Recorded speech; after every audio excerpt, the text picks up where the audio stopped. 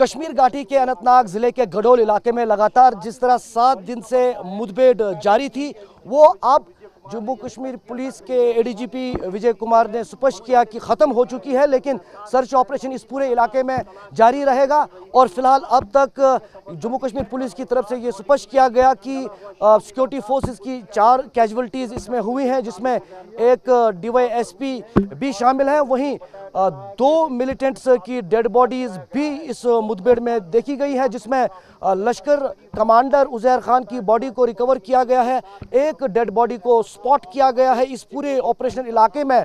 वहीं, विजय कुमार ने यह भी कहा कि तीसरे मिलिटेंट की भी बॉडी जो है, वो वहाँ पर मौजूद हो सकती है, इसकी आशंका है और उसके लिए फ़िलहाल सर्च ऑपरेशन जारी है। सैनिटाइजेशन का भी काम इस पूरे इलाके में अभी बाकी है। तो उसके चलते अब एक आखिरी कह सकते हैं, दौर में ये मुठभेड़ है, जो कि लगातार पिछले सात दिन से इस पूरे इलाके में जारी थी। वहीं इस ऑपरेशन को करने के लिए आधुनिक लेवल के हथियार और ख़ासतौर पर ड्रोन्स की मदद ली गई, जिसमें हेरोन और हेक्सोकॉप्टर की खासतौर पर मदद ली गई, जिससे कि इस पूरे इलाके को की सर्विलेंस की गई, वहीं अटैक भी किया गया, खासतौर पर संदिग्ध गुफाओं पर, जिन्हें हाइड आउट के तौर पर माना जा रहा था, और लगातार आप देख सकते हैं कि किस तरह अब यहाँ से सेना की मूवमेंट जो है वो तेज़ होती हुई दिख रही है। जिस तरह एडीजीपी विजय कुमार ने कहा कि इस पूरे इलाके में जो मुठभेड़ है वो ख़त्म हो चुकी है और उसके बाद अब पहाड़ी के इलाकों से आहिस्ता आहिस्ता जो सेना के जवान हैं वो गाड़ियों में निकल रहे हैं। करीबन हज़ार के आसपास ट्रूप्स जो है इस पूरे मुठभेड़ में इस्तेमाल किए गए थे और जम्मू कश्मीर पुलिस का स्पेशल ऑपरेशन ग्रुप उनके साथ साथ इंडियन आर्मी के राष्ट्रीय राइफल्स के जवान इस ऑपरेशन को अंजाम दे रहे थे।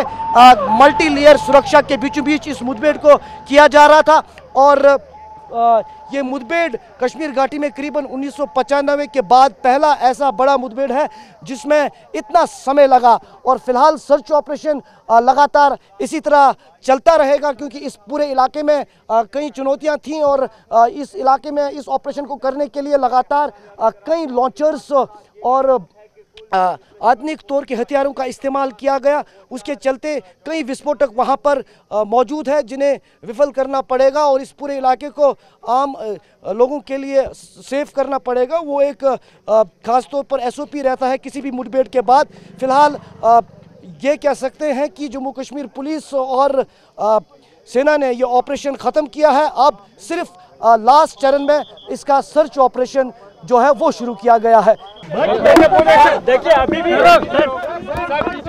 सर बन कमांडर मारा गया। मिल गया बॉडी भी रिट्रीव हो। गया है एक डेड बॉडी मिलिटेंट का और दिख रहा है। अभी रिट्रीव नहीं हो पाया है। सर्च ऑपरेशन जारी रहेगा। अभी हम लोग काफ़ी एरिया को सर्च करना बाकी है। बहुत सारे ब्लाइंड सेल होगा। उसको भी हम लोग रिकवर करके उसको डिस्ट्रॉय करेंगे। और आवाम से अभी अपील करते हैं कि स्पॉट पर कोई नहीं जाए क्योंकि बहुत सारे ब्लाइंड से ग्रेनेड की संभावना है। वहाँ पर है टोटल कितने टेररिस्ट वहाँ पे थे? टोटल हम लोगों के दो से तीन का खबर था। हो सकता है तीसरा डेडी बॉडी भी कहीं मिले।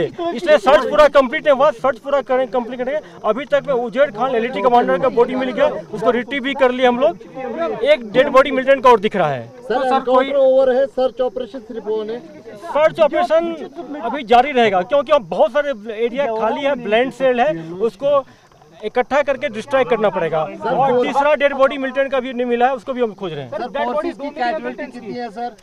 जैसा कि हम सब जानते हैं हमारे तीन ऑफिसर कलीग शहीद हुए एक जवान भी शहीद हुए हैं।